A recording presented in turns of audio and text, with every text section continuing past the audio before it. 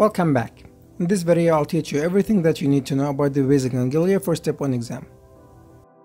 So hopefully by the end of this video you'll be able to answer any question about the basal ganglia. If you were ever asked about the parts of basal ganglia, you'll find the answer in this page. So the basal ganglia is formed by striatum, which is putamen and caudate, and it's also formed by lentiform, which is putamen and globus pallidus, and also subthalamic nucleus and substantia nigra. So these are the parts that make the basal ganglia. Now let's go into the deep stuff.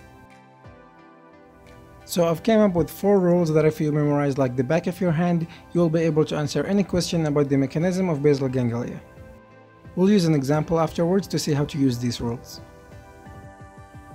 Rule number one is that if the thalamus is active, it will activate the cortex and this will result in movement.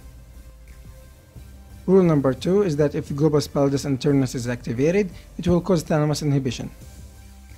Vice versa, if globus pallidus internus is inhibited, it will cause thalamus activation and movement.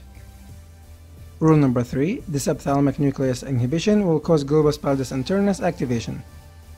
Memorize the word SEGA, so S for subthalamic nucleus, I for inhibition, G and A for globus pallidus internus activation and of course vice versa, subthalamic activation will cause globus internus inhibition. Rule number 4. Any step following globus internus or external will be called disinhibition. Also memorize that D1 receptors are for the direct pathway, which is excitatory, and D2 receptors are for the indirect pathway, which is inhibitory. So take a second to memorize these rules or write them down somewhere so we can practice them.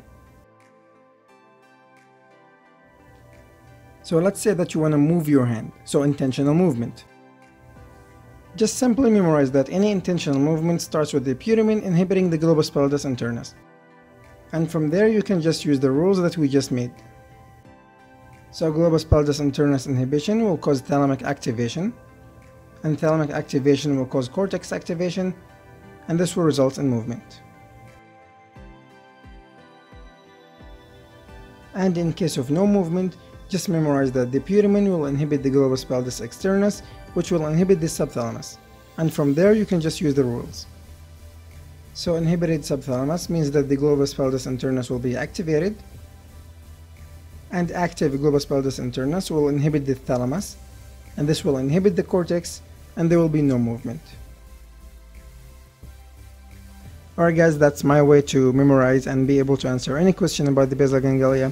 Obviously this is not an explanatory video, um, this is just a short video to help you memorize and simply answer all questions about it.